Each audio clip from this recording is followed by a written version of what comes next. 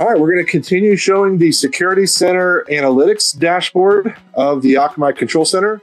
Over here, you'll see that we just completed the dashboard view of the routed map. The next two reports we're going to look into is called the trends report. So there's two that are listed here. One is called routed trends and the other one is called routed FBM. FBM stands for flow-based monitoring.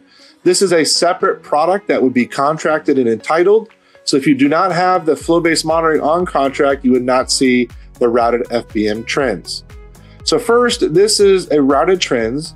I often advise my customers to look at this during attack. And what that means is that when you're actively being attacked, we give you a traffic um, inspection of the different layers of the Prolexic platform. You can also look at this data as a 90 day view. So you'll see all alerts or all uh, attacks that have been rel related to this traffic. Um, you'll be able to look at this in three different data sources. One is pre mitigation, which means that the traffic from the internet hitting our border.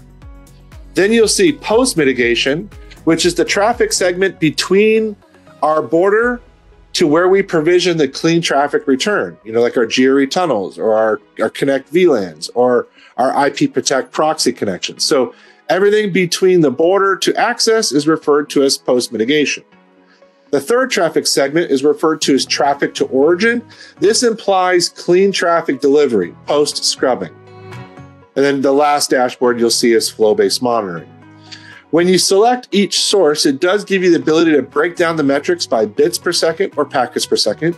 It also allows you to show the configurations by the scrubbing center, or I'm sorry, the data by the scrubbing center or by the security configuration.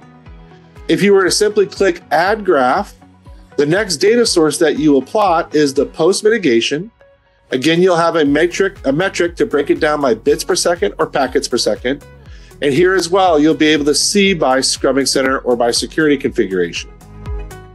And then the last but not least would be add graph again, and this gives you traffic to origin.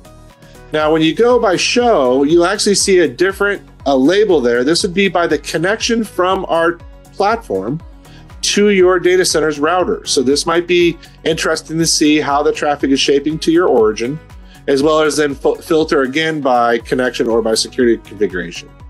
All three of these reports can be accessed via CSV download.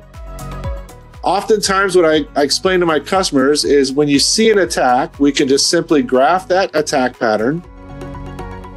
You'll see that in pre mitigation, there was about 28 gigabits of attack traffic that was pre-mitigated, you will see that there was no traffic leakage to post-mitigation, maybe a gig and a half. And then down to traffic to origin, we had about 4,000 bits per second. So you can quickly see that attack traffic was blocked by pre-mitigation controls. Some percentage of the attack was blocked by post-mitigation controls, potentially. And then also, if we were leaking attack traffic or if it was a clean mitigation event, you know, how much traffic was being routed to origin. The second graph that, or the second report I want to show you under routed trends is the, the routed FBM. Now, this data is indicative of traffic on your routers being sent to our cloud for reporting and alerting purposes. You'll see that there's different types of alerts that would be generated either in high bits per second, packets per second, You'll also see, see combination, which means that there's more than one type of packet flow or malicious packet.